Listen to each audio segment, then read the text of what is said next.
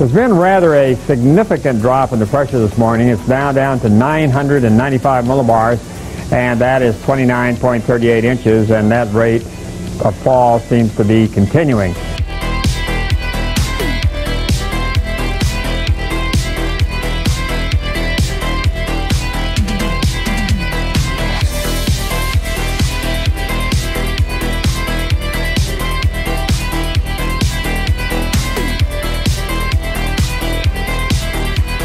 Tropical Storm Diana continuing to work its way towards the northwest. It again be over the open waters and it'll uh, need our full attention because the possibility is there for further intensification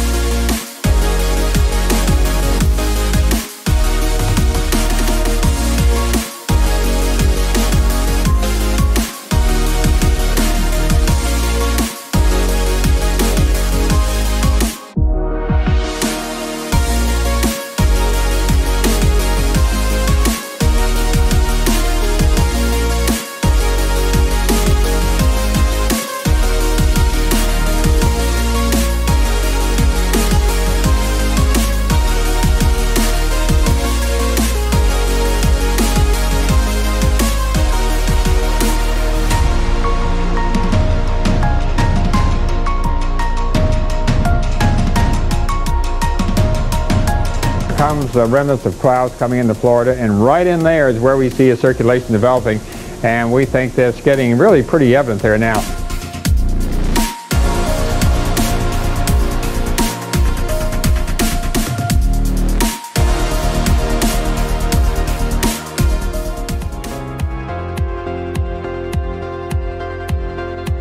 Then we have Tropical Storm Nana out here in the Atlantic, and it's slowly pulling off towards the north.